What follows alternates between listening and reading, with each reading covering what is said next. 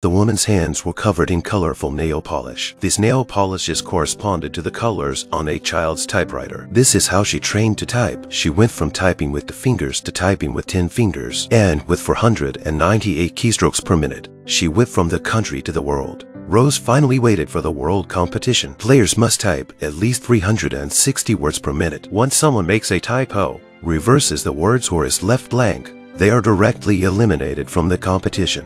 The demanding requirements made the Italian contestant flip over the typewriter on the spot. The British players were also sighing repeatedly. Only the American contestant maintained her style of being the reigning champion. She kept her composure and took the lead after the first game. Only four countries remained in the final, but the successive eliminations of the German and Korean players left only the veteran champion Susan and the much anticipated Rose in the field. But Rose was clearly in bad shape before the final. She wanted to